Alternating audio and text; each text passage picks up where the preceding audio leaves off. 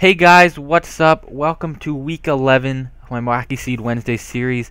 Uh, today's seed is going to be a little bit, or the episode is going to be a little bit shorter, um, only because there's not much to show, but what I am going to show you is very cool, very different, something I haven't seen before.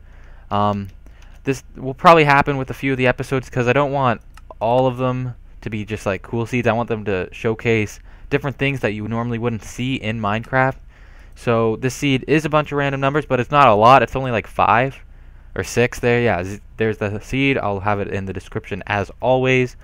And this is for 1.2.5, not the new snapshot that is out, just for 1.2.5, I believe. So let's uh, create the world here right now. And let's get going. If it'll load, which it never wants to load.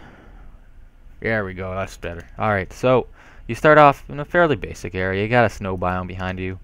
That's where I'll be heading to in a second once the land generates here. So yeah, you come into the snow biome. You know, basic snow biome. You got your snow and your trees. And it's all snowy. And you want to make snowmen and a snow fort. And it's pretty awesome.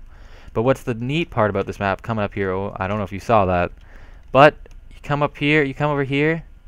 You got a ravine right here. But what's awesome about this is it's a huge ravine, and there's another one cutting right through it, and it gives it the shape of an X. Look at that.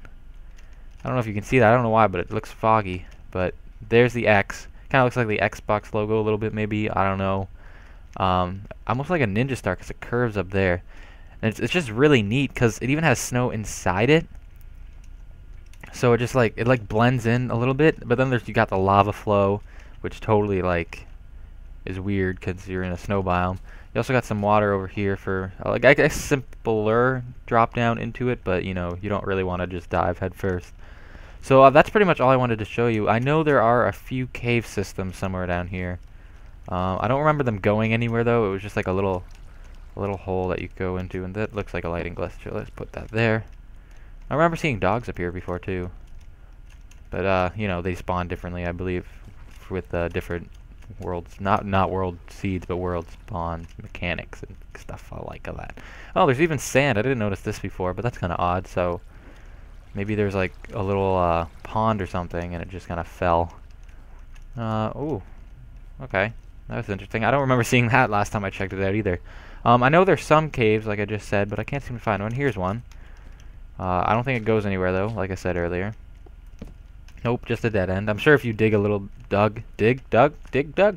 I'm sure if you dug a little bit, you'd be able to find something. There's this circle area over here that as well doesn't really go anywhere.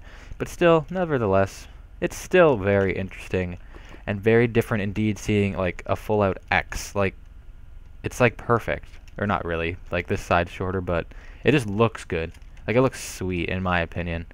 So uh, yeah, I will let you guys check the seed out for yourself. Maybe you want to build something surrounding the ravine somehow. I don't know what exactly what you could do. I guess instead of like having it drop, you could have it go like exactly all the way around, like a big house or big walls or something. That'd be kind of neat. Uh, so maybe you guys can show off some things that you make. If you if you do do something, just let me know. Send me a PM or something. But uh, yeah, I hope you guys enjoyed this episode's Wacky Seed Wednesday. If you haven't already, hit that like button. That would be awesome. As well as subscribe too. That would also be uh, very much appreciated. But uh, anyways, guys, I will see you in the next one. Peace out.